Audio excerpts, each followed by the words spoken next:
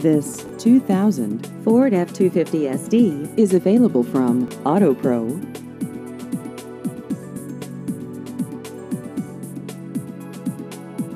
This vehicle has just over 187,000 miles.